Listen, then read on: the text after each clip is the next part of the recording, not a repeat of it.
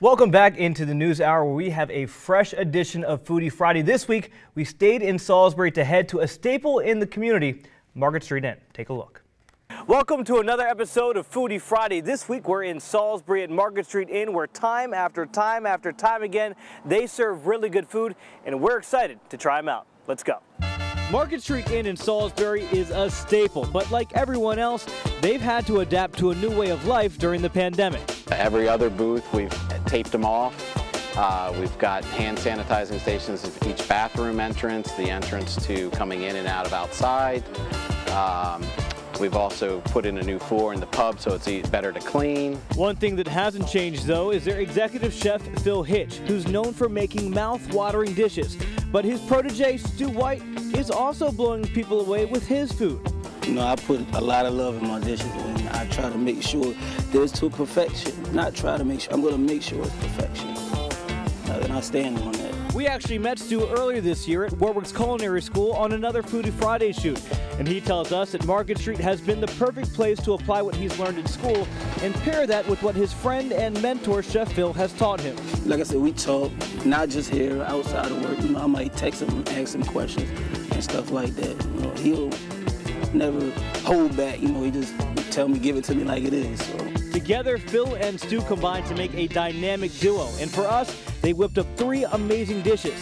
A Mediterranean salad with grilled shrimp, a pork tenderloin over a bed of couscous and asparagus, and last but certainly not least, a Korean fried chicken sandwich, which Stu gave very high praise to. I feel like you go like that chicken sandwich. That chicken sandwich? Hey, listen, because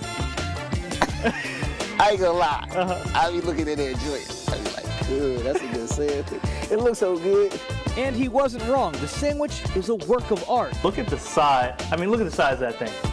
That's half of my face in one sandwich. the chicken is deep fried and features a sweet and spicy sauce, crispy onions, and a slaw that helps cut through everything. But how did it taste? All right, so just go in for it? Go in for it. All right, all right here we go. A little uh, cucumber and carrot slaw. Mmm. You got sweet, spicy, well, let's just say midway through tasting it, I lost track of what Chef Phil was saying and started dreaming of having more of his chicken sandwiches. So with that being said, you know what I had to say. That chicken sandwich, downtown delicious, baby. Downtown delicious. Woo! But of course, the chicken sandwich wasn't the only amazing dish we got to try. The Mediterranean salad was no pushover either. The grilled romaine lettuce, grilled shrimp paired with tomatoes and olive relish, all coming together to make a dish that is simply delicious, with a dressing that perfectly caps it all off. It's like an herb gremolata.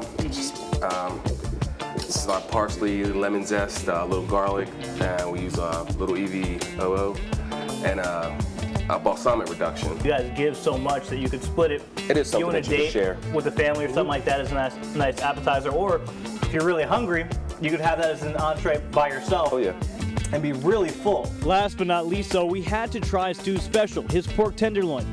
To make it, Stu uses a spice rub and then finishes it off with his own red wine sauce. The dish is served with couscous made with tarragon, parsley, and lemon juice, as well as asparagus. And people, my goodness, Dude, be honest now. You kidding me? Uh, you kidding me? we got it with it. It's delicious, man. Hey, that's what I'm talking Come about. on now. Hey, Come on now. About, Still don't play with me, man. the pork is tender and juicy. The red wine sauce adds a nice bittersweet note, and the couscous and asparagus are the perfect companions.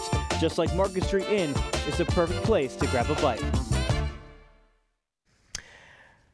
Now, if you'd like to try Market Street Inn for yourself, they're located at 130 West Market Street in Salisbury. Of course, if you go, let them know that you saw them on Foodie Friday.